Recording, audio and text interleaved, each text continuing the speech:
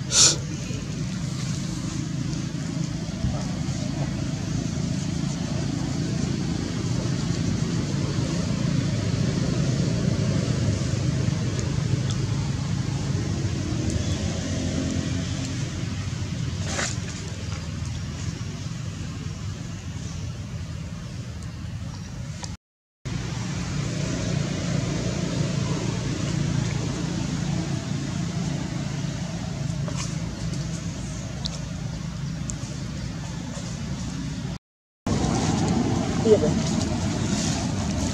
không có mình đang dây ca ra